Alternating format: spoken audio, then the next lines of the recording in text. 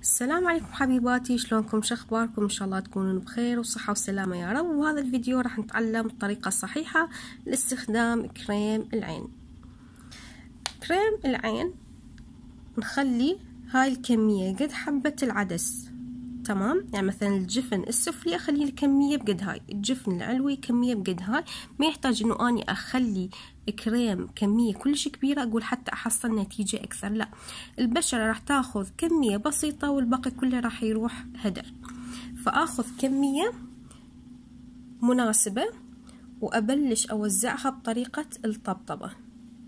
تمام؟ شوفوا. وممكن أخذها مسحة والثانية بس وبالطبطبة. هاي الطريقة المناسبة. أما أنه أنا أظل رايحة راجعة رايحة راجعة وأجر الجلد وأسبب ترهل هذا الشي غلط. لا أوزعها بطريقة الطبطبة وممكن مسحة واحدة والثانية والكمية المناسبة أنتو شفتوها. أوزع على الجفن العلوي زائد الجفن السفلي وأحاول أتجنب الرموش حتى لا يدخل بداخل العين وتتحسس البشرة وهذا المنتج رهيب.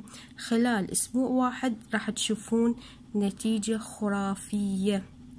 خرافية مهما كان التعب والإرهاق والسواد والترهل تحت العين راح تشوفون نتيجة حيل حلوة. شخصيا أنا سنين وأعاني من الهالات السوداء. والجلد نازل وصاير خطوط وأستخدم منتجات وفترة وممكن ما ألتزم ممكن ما تعجبني النتيجة بس صراحة هذا من يوم استخدمته. وإلى هسه تقريبا نص العلبه خلصت وملتزمة بيه لأنه حيل حيل حابة النتيجة كلش حلوة. لأن هذا الريتينول آه المنتج هذا أو المكون يعني الدراسات كلها أثبتت عالميا إنه هو الوحيد بالعالم يرجع البشرة بالزمن للوراء. يعني يرجع البشرة شباب وتقدرون تبحثون عن هذا الشيء. وأيضا متوفر سيروم من نفس نوع كريم العين اللي نسميه السيروم الوردي أو السيروم السحري من آفون.